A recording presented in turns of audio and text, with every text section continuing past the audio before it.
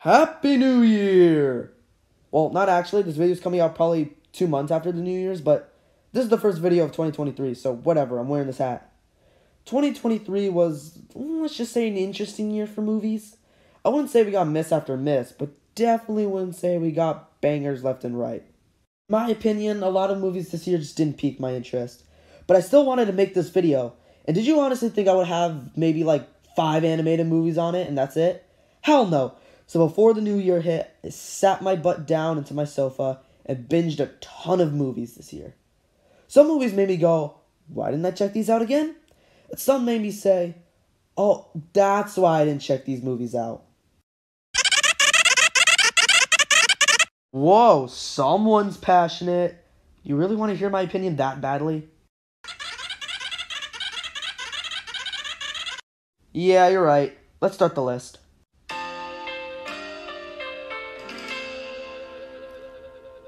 You know, when I started this list, I was mainly excited to see what was my favorite movie and my least favorite movie of last year. But what I didn't expect was for the sixth Ice Age movie to be the worst thing I watched last year. Disney couldn't just leave it alone. They already dug the grave of Blue Sky, but they also had to defile the grave. They needed just one more franchise to run into the ground. Let me just say it right now you will not remember anything about this movie after you watch it. Time moves so slow. And even then, scenes are rushed. Congratulations, Disney! You made a movie that both drags out while also rushing its story along. Great. They introduce all these new characters and just act like we know them. I don't know if they appear in anything else, but I certainly don't care. They turned the only good part of Collision Course, that being Buck himself, annoying. Sid, Manny, and Diego are, you know what, now that I think about it, all the original characters have maybe two minutes of screen time. It's all about the possums, your favorite characters from the original, right?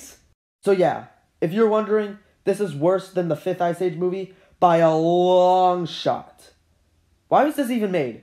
I could just see guys in a business meeting like, Sir, our data shows that we need a movie that nobody asked for. Hmm, a new Marvel show? If we start making our new Marvel shows, the VFX team will pass out. Hmm, any other ideas, boys?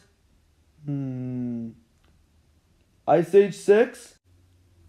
I love it! You're getting a raise, Jim. I wonder if my Blankie's at the Lost City. Uh, I thought Brad Pitt was funny.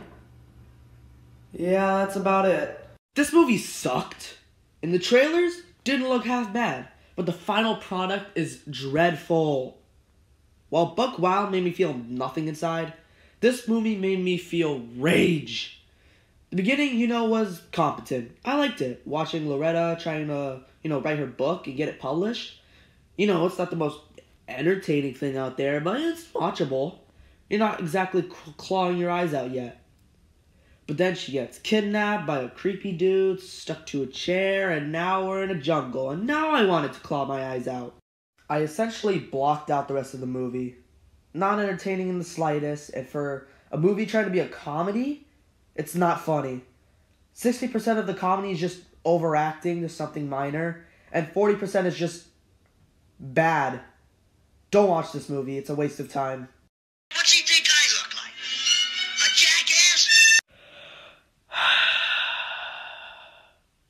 Is this going to be a tradition where Disney has to make a crappy live action adaptation of their beloved movies?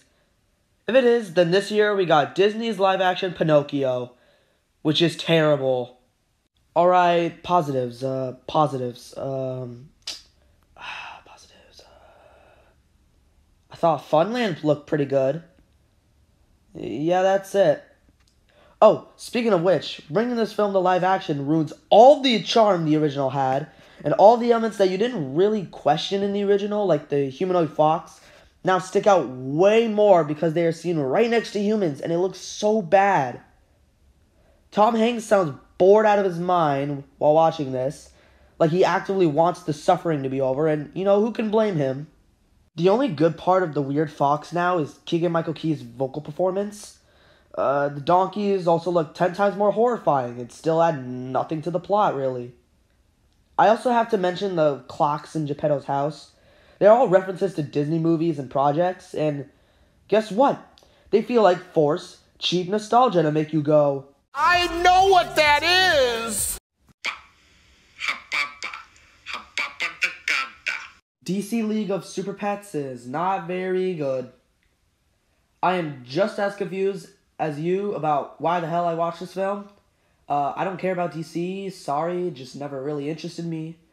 Show me this logo, and I feel nothing. So when watching this movie, I also felt nothing. I guess the Kevin Hart and Dwayne Johnson dogs were okay. Uh, I didn't like the other pets. I do think that it's absurd that a stupid little hamster was able to defeat Superman and the rest. Like, I might be able to stretch my imagination, but come on. And yeah, that's it. Not much else to talk about.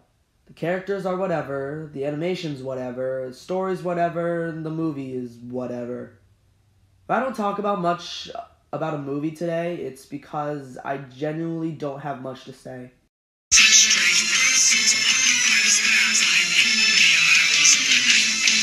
Part 2 of Disney crapping on the things we loved as a kid.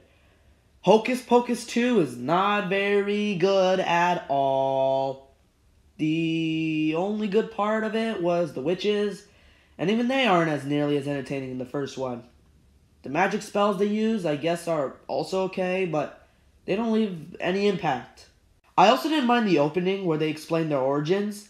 The old timey setting is interesting, even if they don't really do anything with it, but now we're in the present, and the movie slowly starts to make you want to turn off your TV, then bash it in. I'm kind of exaggerating for the joke because the rest of the movie is now filled with unfunny writing, boring scenes, and a humor, if you even want to call it that. The only joke they tell is them being confused by the modern world. I'm surprised the writers didn't cave in and made one of the witches say, Wait a minute, what's an iPhone?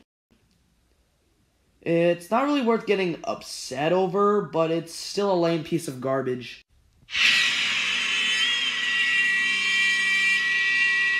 I didn't get much to enjoy out of Uncharted, if I'm being honest. I've never actually played an Uncharted game, so maybe that's why I didn't enjoy it as much, but I'm assuming the games aren't the most plain, basic, boring adventure movie with action scenes that underwhelm you. Whoa! This adventure is taking place in the jungle and towns. Never seen that before.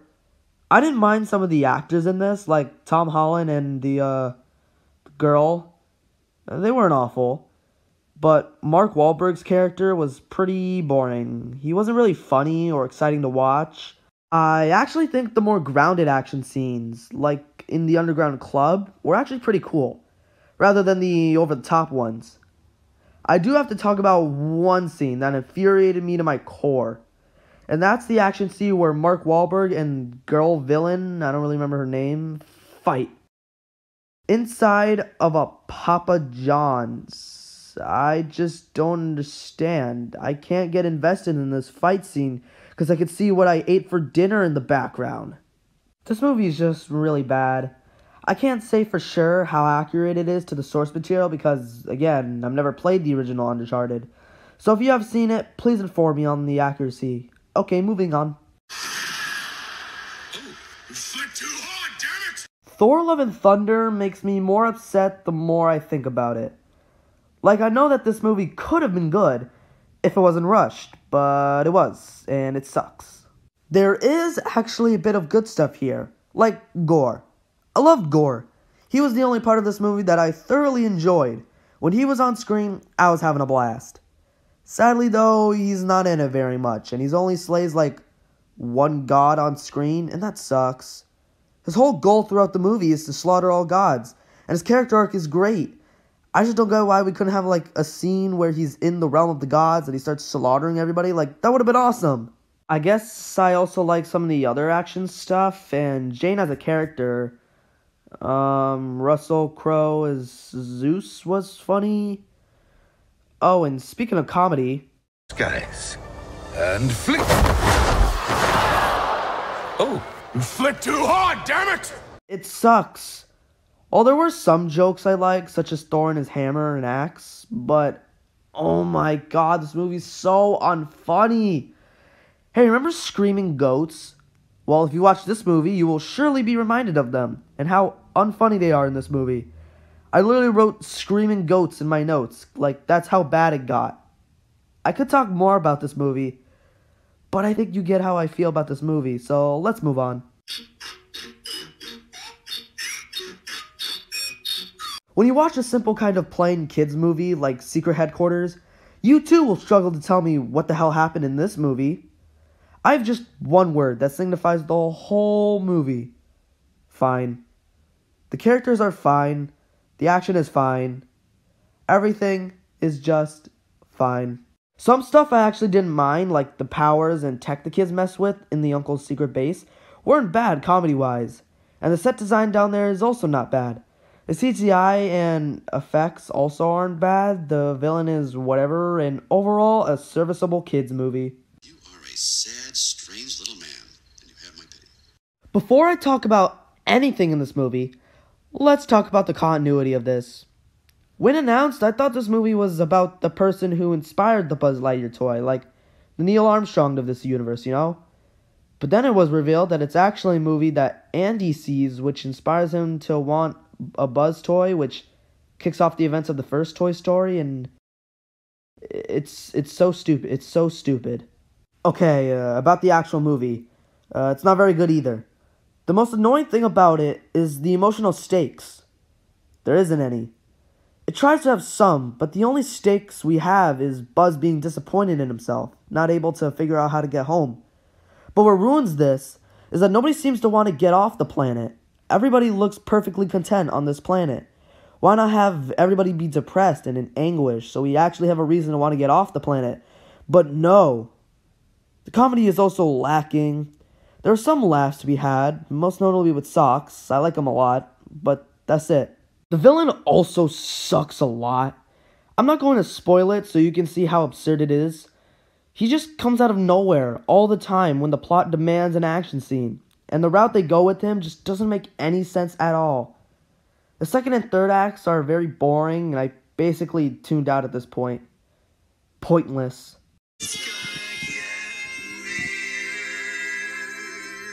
Strange World looked pretty good. Then it came out and nobody watched it. That has nothing to do with the quality of the movie, obviously. It has to do with Disney's complete lack of confidence in this movie, and that sucks. But they have every right to, because this movie is whatever. I like the three main characters well enough Searcher, Ethan, and Jaeger. I think that's how you pronounce it. They are quite enjoyable protagonists. I just wish they were in a better movie. I actually did enjoy that slice of life beginning. It was pretty enjoyable, but then it stops being that and becomes a very generic adventure movie that isn't very good. And the sci fi elements don't really get fleshed out all that much. I also don't get this one scene where the three characters I mentioned are playing this board game and Jaeger calls out that movies without villains are bad. Inside a movie with no villain. Like, what? None of the other characters made me feel anything, and I wish the whole movie was in the art style of the opening. Like, that part slapped. I also hate the twist at the end. It gives you extreme whiplash because they don't build up to it at all, and it makes no sense and infuriates me physically. So that's Strange World. Some good things, some bad things, and mostly boring things. He was a good man. Until he wasn't. Disenchanted didn't nearly infuriate me as much as Hocus Pocus 2 did.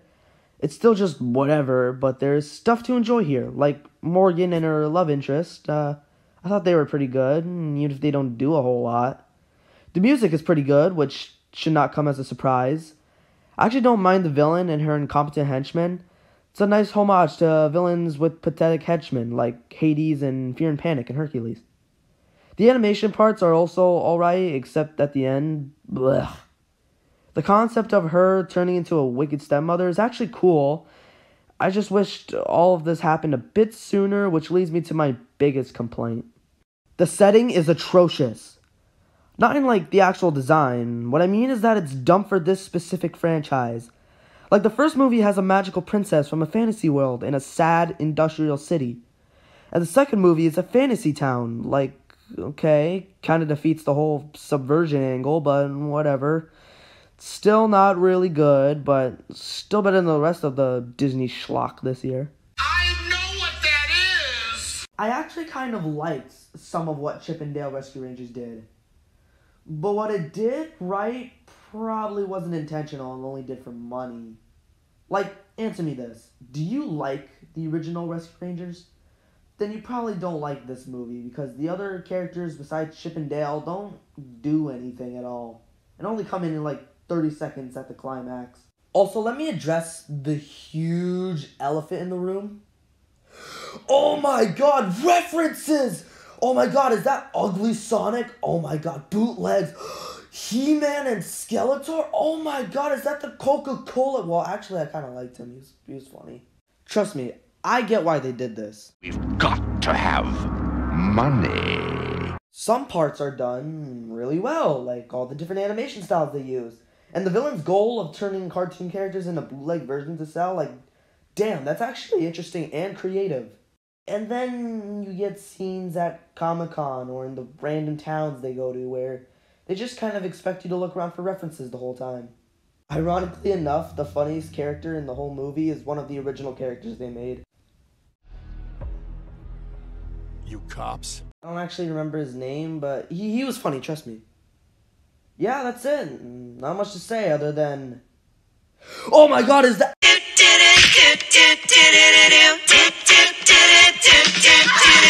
I wasn't even planning on watching this movie when it came out, but then I was like, eh, whatever, I'll watch it. I did actually watch the Halloween 2018 and thought it was pretty good. And obviously, the first Halloween, come on, it's a classic. How, how, how could you not watch that movie? It's great. But Halloween Ends is still an alright movie and it has problems. Like, I don't really understand what happens to Corey. Like, did he just decide on his own to help Michael? Was he possessed? It never really gets an answer. This movie also has a lot of scenes that drag on longer than it really should. And it started to get on my nerves a little bit, to be honest. Michael also does nothing until like 40 minutes in. But man, once he does, the kill count starts going up. The kills are pretty good, and scenes are actually shot very well. Like the final battle with Laurie Strode and Michael, and the final shots of the whole town grinding up Michael's body. Like, that was cool. The beginning of the movie where a younger Corey accidentally kills a kid was really disturbing. In a good way, of course. So yeah, Halloween ends. Pretty alright. Do you ever use a real door? I can't believe I'm saying this, but Black Adam isn't as bad as everyone has been saying. Don't get me wrong, there's still a lot of things wrong with it, and I get why people don't like it. But there's uh, quite a bit of stuff in this movie I did enjoy, such as Black Adam himself. I do get the criticism about his backstory. Like, at first, you think it's the kid who became Black Adam, but then it's revealed to be the father of the kid after he died. Uh, it kind of gets dropped on us randomly, but in my opinion, while yes, annoying, doesn't really affect my overall enjoyment. Arguably, what I hate more is that he's basically a killing machine that can do practically anything. That's not interesting. I did like some of the characters, like the kid, the uncle, and the mom. I don't remember their names. They were all enjoyable and pretty funny on occasion. You know who I didn't like? The Justice Society. I guess I didn't mind Dr. Fate. He was alright. Hawkman, boring and kept whining about Black Adam. And the teenagers are not funny. Definitely have way too much screen time dedicated to them. Also, the villain, I guess, turns into Satan at the end and raises the army of hell, and then this goes nowhere. Also, also, also, the more cartoony elements are fine on paper, but clash very hard with the more darker tone it goes for. I mean, he literally kills people. They really shove the idea of, whoa, he's not a hero or a villain. He's a anti-hero down your throat, and yes, it's annoying. Bottom line is, while not great, it's not nearly as bad as you might think. Merry Christmas to all! Now you're all gonna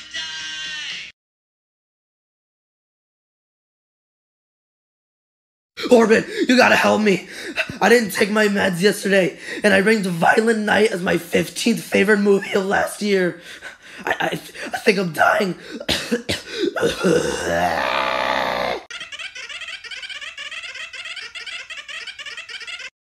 Ah, uh, oh yeah, I guess you're right.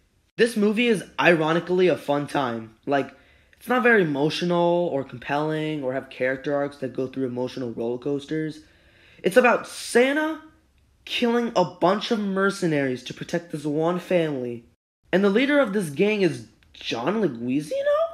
Alright, I guess Sid from Ice Age got bored one day and decided to commit mass homicide. He's also the funniest part of the movie. You are also actively rooting for some of the family to die. Like the aunt. I hate her. I just wish she died at the end. This movie is also very, very gory. Just felt like bringing that up would be important. So yeah, I should not have put this movie as high as I did, but I don't know, man. I love stupid movies. What can I say? Sea Beast is good. And that is where my thoughts end. I'm joking, of course, but I don't have a lot to say about this movie. I just thought it was good. Okay, okay. I was going to get to that. I like most of the crew we follow on this adventure to kill the Red Beast. I just wish we got to see a little bit more of them. The monster designs are also pretty good. Well, it's more the animation that's good. The this Red Sea Beast design is weird and I don't very like it all that much. I just also wish we got to see more monsters. They were easily the best part of the movie. I just wanted to see more. I think the scene where the kid and the guy are on the island is kind of boring, and yes, it does kind of feel like Netflix's How to Train Your Dragon, just without some of what made that movie so amazing. Again, not much to say. I like the characters, action, and animation, even though I wish they could have developed things a little bit more. Despite that, I liked it well enough. Stars and horseshoes, clovers and moons, hourglasses, rainbows, and tasty rainbows. Luck is another random streaming only animated movie that I had absolutely no expectations for, but surprisingly, really liked it. This movie has a very nice but sad opening, establishing that Sam is a woman who lives at an orphanage because she was never adopted as a kid. She also has the worst luck of any human alive, so that's cool. She is now an 18 year old and is on her own and with a job, and obviously her first day of work goes expected when you have terrible luck. The first act, I think, perfectly sets up her character. Someone who has terrible luck but takes in all the pain to make the people she loves happy. Like, that's wholesome as heck. The movie also has really good world building for this world of luck. Like, that's something you can't really say a lot for animated movies nowadays, but we get to see a lot of this luck world, and it's really creative. I like it a lot. I like the characters we meet, like Bob the cat, his leprechaun friend, the leprechaun that hates him, the dragon leader, and of course, Rudy. He's awesome. I love Rudy so much. He's easily the best character in the entire movie. I do have some problems though. The animation is overall alright, but I don't know, sometimes the voice actor for Sam says something a little bit more cartoony, and the stiff mouth movement just doesn't match the voice at all, and it just bothered me too much to where I had to bring it up. Bob revealing that he's actually from the land of bad luck kind of comes out of nowhere, and some of the humor and characters just didn't leave that much of an impact on me. Also, why does nobody react to the talking cat in the end? That that confused me so much. Hey, little kitten. What up? What, what the? You wouldn't like me when I'm angry. I don't like you now. Turning Red was surprisingly very good. From the trailers, this movie didn't look very good at all. It just seemed obnoxious and trying to be hashtag relatable. But no, the movie did not do any of these things. Firstly, I just love the plot. It's just a group of girls trying to raise money so they can go to a concert. It's great. Sure, they market a big fluffy panda along with it, which you would think ruined that slice of life aspect. But no, I think it fits perfectly fine. The characters, though, is probably what sells me on this movie the most. They're just fun. Mei Ling was nowhere near as annoying as I thought she was going to be. She's a good protagonist, very entertaining to watch. I thought her other friends were alright. The green one and the one with glasses were fun, but the small one, she was just kind of annoying. The best character relationship, though, is man or mom. They have a nice relationship and a nice conflict of Mei's mom not believing her daughter could do anything bad putting her blame on everyone else. It's a nice angle. I'm glad what they went with. I do have some problems though. Like the whole puberty metaphor isn't developed all that much and was kind of pointless, honestly. Humor also wasn't as bad as I thought, but not anything really noteworthy. I don't know, man. This movie is just fun. Definitely better than Lightyear, I'll tell you that. With nice pacing and a fun plot and great characters, Turning Red is pretty good. We're going back in time to the first Thanksgiving to get turkeys off the menu. I honestly didn't know the Adam Project existed until my mom wanted to watch it. Uh, I really liked it. I think it had enough problems to cause it to just miss the top 10 mark. First off, I guarantee you that you will not remember the villain's name. Uh, I don't remember her name. She just is very forgettable. And I argue that they could have done more with the sci fi concepts a bit. Like, we have Kid Adam and Older Adam. We could have had, you know, a lot more jokes using the whole time travel shtick. But, eh, doesn't hamper the experience. It was just in the back of my mind while watching. The scenes with Older Adam, played by Ryan Reynolds, and Young Adam, played by Waker, Waker, Waker Scoville? I think that's how you say it. Were pretty entertaining with them bickering. Uh, they had surprisingly really good chemistry. Uh, they were enjoyable. The scene where older Adam reconnects with his dad, who died, you know, that's why he came back from the future, to prevent his dad's death, where he talked with him, where his dad helps him grapple with the fact that, you know, he must die. It hit me in those feels. The ending as a whole is very sweet. I would highly recommend this movie. This is the comedy police. The joke's too funny. I'm not going back to jail. Okay, so I was planning on not even talking about this movie in this video because the Jackass movies aren't really traditional movies, you know? But then I remember that this movie was playing in theaters, so eh, it counts. And what do I have to say about it? It's hilarious. I know this style of comedy does not work for everyone, and if you hate this movie because of that, then I understand. But personally, I thought it was hilarious. I don't know if it's wrong to put it this high, but what can I say? I had a great time laughing my ass off.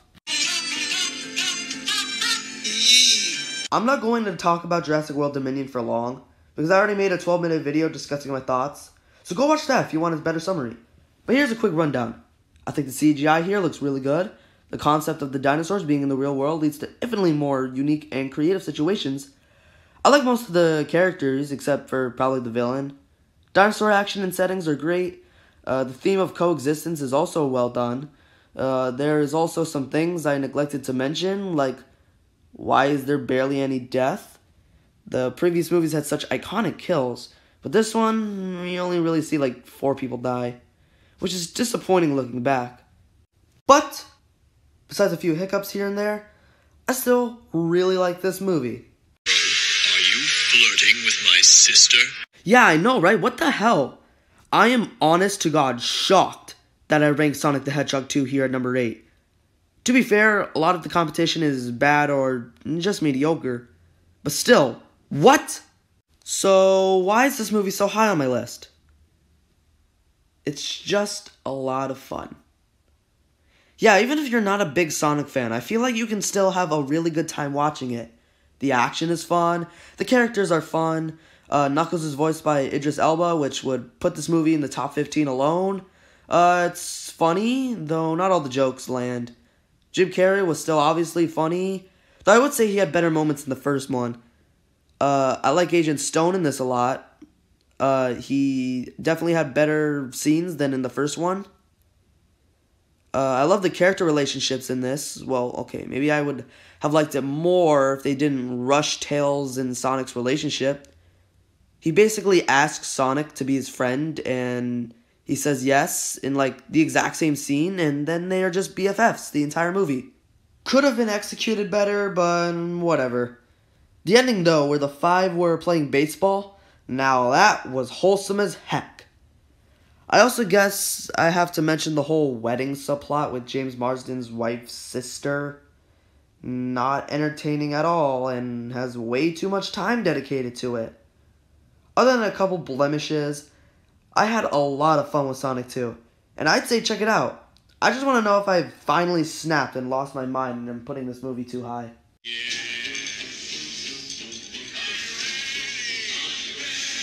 Oh my god, Wendell and Wild is so great. I don't know what it is with Henry Selick's works, man, but I don't know, they're all so great. Well, except James and the Giant Peach, uh, that one we could forget, but besides that, this world is so fun to get to know more of. Learning about how the underworld works and how they interact with the mortal world, it's all super good. Kate is a wonderful protagonist, along with all the side characters we meet. The titular Wendell and Wild are both super funny and entertaining to watch.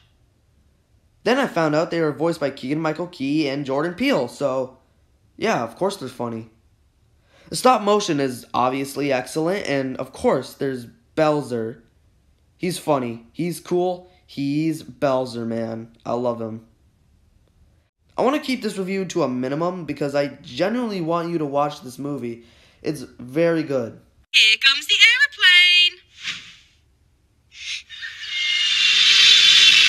aeroplane. In preparation for this movie, I watched the first Top Gun, and it's whatever, had quite a few problems. So I was amazed to find that this movie was surprisingly amazing, and also had quite a few problems. Just just give me a minute and I'll explain. There are a lot of talking scenes, and they are all mixed in how good they are. Some are very, very cheesy, some get me more invested, then others just make me go, uh. There is also a lot of flashback scenes. They're alright, but they just happen so often to where you're like. Most of the characters are very forgettable or kind of annoying, and this movie's attempts at humor just doesn't always land. Taking all these problems into account, why is the movie practically grazing the top 5? The flight scenes. Yeah, they're that good. The action of the movie sells the price of admission alone, and certain shots, like the beginning of the movie, is very well done. So, in my opinion, everything outside of the action scenes were either just alright or painful, whatever. But the action scenes, especially the last 30 minutes, make this an automatic 8 out of 10. Like, they are that good. So now we prepare for the top 5. The Mighty 5. The 5 Wonders of 2022. And these movies deserve more than just a random clip from some random video or movie. They deserve an announcement. Penty, prepare the music. And now, number 5 is. I think if they had to make a Black Panther movie without T'Challa in it, this is how you would do it. Well, except a few things, but I'll get to that later. First off, the emotional arc that these characters go through, mourning the death of T'Challa and reflecting on his legacy, is really powerful. And I think the movie just works because the side characters were so entertaining in the first Black Panther. So, of course, a movie about them would be entertaining. There's just one problem with this. So at one point, the white guy, whose name is slipping from me, shows up, and I'm like, oh, that's a cool cameo. And then he showed up again, and I'm like, alright, I guess he's more than just a cameo. But then he kept showing up more, and more, and more! And his scenes are uninteresting and unfunny, and it was just very annoying and breaks the nice pacing the movie had. Whew. Okay, now that I got that off my chest, we could finally start talking more about why this movie is good. Like I said, all of the side characters who are now main characters are great. The presentation and effects are amazing, especially compared to the crap of Thor Love and Thunder. The score and acting are also pretty great. Uh, Namor is, in my opinion, a pretty good villain. He's incredibly intimidating, and his motivation is strong. I just think that he's brought down because he arrived after Killmonger, who is infinitely more compelling. Some of the characters don't do a lot and get shafted in the third act, but it's not a huge issue. Ooh, and the twist near the end, which I won't spoil, where Shuri talks to a character. It's amazing. Yeah, and that that's the movie. It's it's great and you should definitely go check it out. My number 4 spot goes to I am just as shocked as you are. When it was first announced, I didn't even want to check it out at first because I thought it was going to be a lazy sequel or reboot that was riding off the coattails of the first, like that horrible Home Sweet Home Alone movie we got last year. But then I realized this is Warner Brothers, not a Disney movie, so maybe that means it might be good. And yes, It is really good. As someone who is very nostalgic for the first Christmas story, this feels like a natural direction for all the characters and writing style to end up. They still do the whole narration thing and do it just as well, in my opinion. It's just a wholesome movie with Ralphie struggling to write his father's obituary. The movie also has a mixed way of delivering references and nostalgia to the original. There's a lot of well done nostalgia, like in Ralphie's mom's attic, and some forced nostalgia, like when he yells out to his kids, Make sure he doesn't kick you in the face. The bar scene where he reconnects with his friends is so well done. And yeah, Schwartz got what he deserved being poor and not being able to pay back his tab. I hated him in the original. So yeah, I don't care, Schwartz. I hope you're drowning in debt, you deadbeat. Hey, Orbit, what's the news?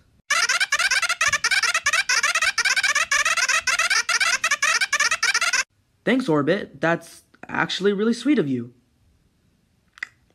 Mmm. Mmm. Mmm, this is good. Mmm. Mmm. What? No, I'm talking about Christmas Story Christmas. Home Sweet Home Alone came out in 2021. What joke?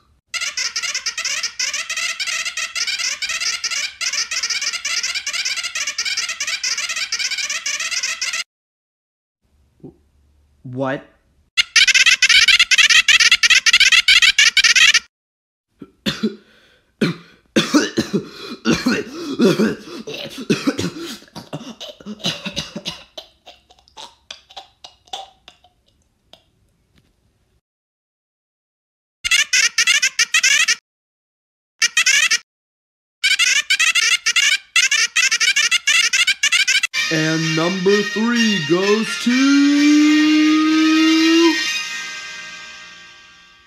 Okay, dude, dude, this movie, this movie right here, it freaking rules. I'm not gonna talk about it for long because I genuinely want you to go watch this movie. It's that good. So let me talk about some things that I have to point out about why this movie is so good. Well, kind of. Alright, my one and only complaint is not Geppetto's design. It's just that he looks the same when his son was alive, which they say was a while ago, as he does at the end. So, in my opinion, the passage of time isn't really felt, but that's just a tiny nitpick. All of the things I didn't like in the original Pinocchio movie is now gone. The designs for all the characters really sell the darker tone they go for, and the stop motion is gorgeous. The surprising thing, though, is that the star of this movie, in my opinion, is Geppetto simply because of his arc of learning to let go of his hatred for Pinocchio, for simply not being like his dead son and accepting him for being, well, Pinocchio, and not someone else, is sad in the most beautiful kind of way. There are more characters, more scenes, and more elements to talk about, but I want you to go and experience it for yourself. It is a beauty that, in my opinion, everyone should watch. And the number two spot goes to. I don't know what it is about this movie, but every time I rewatch it, I love it more and more every time. I feel like this movie is just an objectively worse movie than some of the movies before it, but this is my list. And I have way too much fun with this movie to not give it the number two spot. I've already made a video about this movie if you want more detailed descriptions of my thoughts, but let me just summarize them. I love the characters, they have such a wonderful introduction, and over the course of the movie, you get invested in their relationship, which makes the breakup scene at the end of the movie that much more sad. The arc that Wolf goes through wanting to be good is perfectly, and I mean perfectly, capped off with the subtle saying of off with good behavior. All these months later, and I still get emotional at those words in that order. The music also grew on me more on rewatch. I can't say the same thing for the humor. That that that did not get better for me. And it's still the weakest thing about the movie. I not mind the villain as much as I did. He, he was still entertaining, just a little plain and predictable. But yeah, if you want more details, watch that old video. If not, this movie brings me so much joy when I watch it. I just have to give it the second place. You are guilty. Even for a minor legal infraction. Case closed. I win, and you. But now you may be asking, what about number one? Well, and at the number one spot, best movie of 2022 goes to. Probably not what you're expecting, right? Trust me, I know you're confused too. Understandable. But this is why. Out of all the movies on this list, it accomplished the one thing I love when movies do. It's able to balance being funny, being entertaining, and being emotional, being dark, and having compelling themes all at once. Which just makes this movie an absolute joy to watch. I did not go into a Puss in Boots movie and expect to think about my own mortality. But watching Puss grapple with his own mortality and learning to value his one life left and spending it the best he can, I'm not crying. You're crying. Yeah, I have to admit it. This this film made me cry. It, it was this scene where Puss runs away from a big fight scene. Well, actually, it was the antagonist, but I'll mention him later. Perrito, yes, that's the dog's name, and it is great. Runs after him, wanting to know what's wrong. He then sees Puss having a panic attack next to a tree. And they mention early in the movie that Perrito is training to be a therapy dog. Puss, of course, teases him for it. You know, at first you think this is just a throwaway line, just to be funny and annoy Puss more. But then we see it in play. Perrito places his head on Puss's thigh, and Puss's breathing slows, calming him. Like, holy God. This is a Puss in Boots movie. Oh, and every other character is entertaining and amazing in their own right. I'm not going over all of them right now because I want to dedicate an entire video going over my thoughts. Might not happen for a while, but definitely as soon as I can. A few more things though before we finish the list. Uh, the music slaps so hard. Go listen to Fearless Hero right now. It's a banger. And obviously, I have to mention Death. He's so intimidating, and I don't mean he's death metaphorically or rhetorically or poetically or theoretically or in any other fancy way. He's death. Straight up. He's, of course, great and a perfect antagonist to Puss's dilemma, and actually kind of scary. Like the whistle he does when near, it will give you goosebumps the first time you hear it. It's horrifying. That first scene in general is a perfect introduction. So, yeah, Puss in Boots, 9 out of 10. Maybe even a 10 out of 10. Uh, is it better than Avatar 2? Uh, probably. That's, that's, that, I feel like that's just a given. And there we have it. 2022 was an interesting year for cinema. We had many misses, but just as many bangers, but a lot of ho hum whatevers. But you can say that for every year. The animation industry, though, besides most of the Disney products, this was one hell of a year for animated films, especially DreamWorks. I really hope they can keep up this pace. I spoke too soon. Good night, and remember to go watch Puss in Boots, please. There was only like a few teens and babies when I saw it. Please watch it, please.